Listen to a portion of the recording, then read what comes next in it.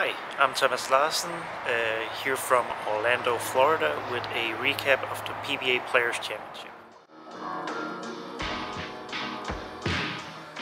So the Players Championship was divided into five regions, and I bowled in the south. Uh, we bowled on two different patterns, the first one being Chameleon, 39 feet, fairly tricky. And I got off to a pretty bad start, honestly. I started with the UC3, the new ball, urethane ball from Rotogrip, and I think I just created a little too much angle to start. Got my angle straightened out a little bit, my technique, my my physical game figured out a little bit better, and um, I threw the UC3 for the first three, four games, I think. Then I switched to the RST X2 when I jumped left, and then the um, the Rubicon UC2 uh, at the end. I ended up with uh, 180 over and sitting in fifth, which is the last spot for the show after the first block.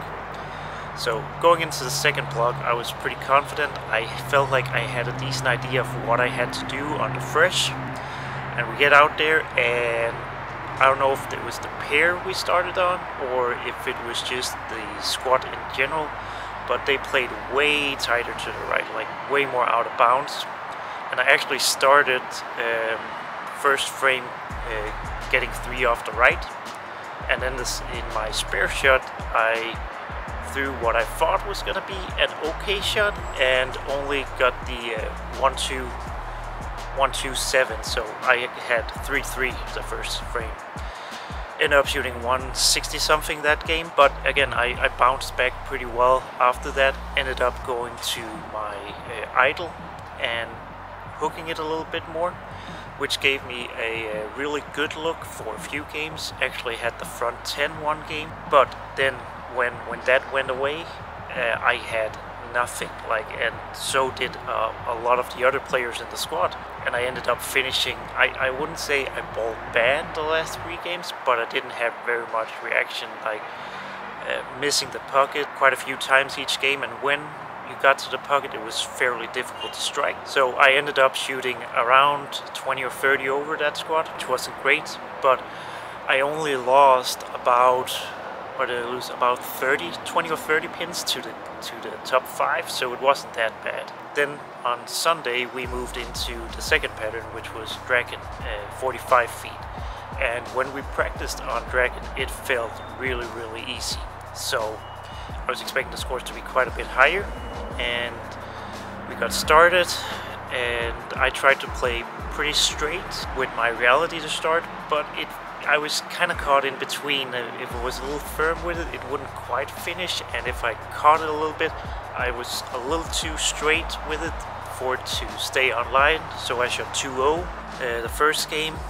Then I, I switched balls, started searching around a little bit, but it took me a little bit to, to figure out a good uh, good ball motion, good reaction, and then I had a bit decent look throwing a mixture of my phase 2 and then switched to the altered reality, which was the one that really gave me a good look.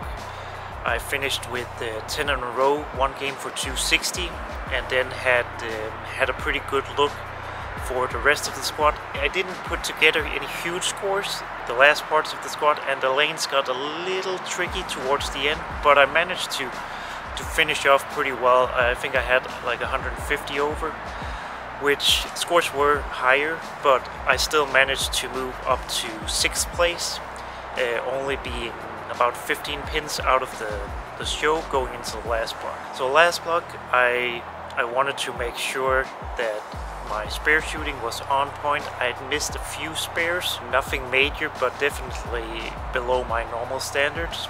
So that was the focus and then I wanted to get off to a good start. And I felt like I was throwing the ball well the first game, but I just didn't have the greatest look. I was throwing a phase 2 on the right lane and proton physics on the left lane and it just didn't look right. I opened on the right lane, decided to switch ball, switch to the proton physics on both lanes, and I went strike 9 spare turkey for to shoot 190 or 180 the first game.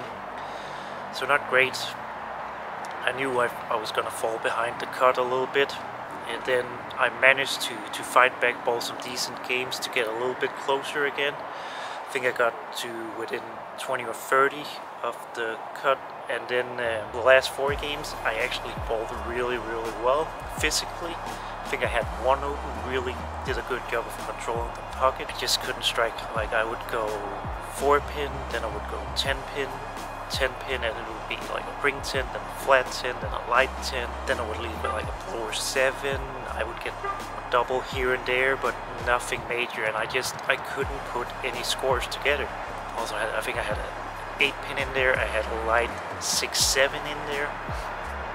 I was just, it, it was rough, like just uh, to get anything going, and it wasn't like the scores were definitely higher than what I was shooting, but it wasn't like they were running away from me. I just couldn't get that 250 or 260 game to get back in the hunt. So going into the last couple games, I needed to shoot a really big score, and it just wasn't happening. I tried different balls. I, I tried throwing the altered reality, I tried throwing a Zen, I tried throwing a UC2, and it just wasn't really happening.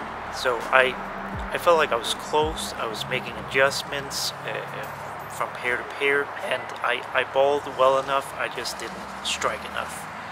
Uh, as it turned out, I ended up finishing the last game going double, spare, double for 217 and I needed needed another 7 pins to go from 10th to 7th place but in the end I ended up finishing 10th which is about 70 pins out of the show which is I guess both a decent start to the season finishing 10th in the first tournament cashing uh, being in the hunt for the show but at the same time it's also a little disappointing. I definitely felt like I had a chance at making this show and that it was a very makeable show. I didn't bowl great, I bowled great at times, um, but I also bowled pretty bad at times. I made some mistakes, missed a few spares.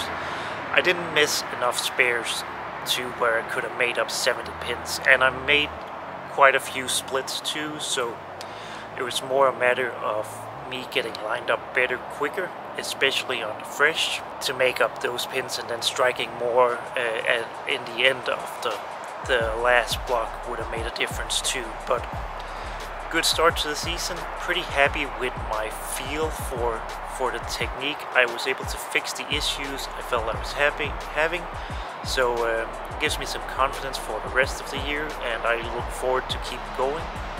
Uh, next big tournament is going to be the US Open in a couple weeks, so please stay tuned here on EMAX Bowling to, to follow, and I'll be updating with more vlogs and on social media. So please subscribe here and be sure to check back for more videos.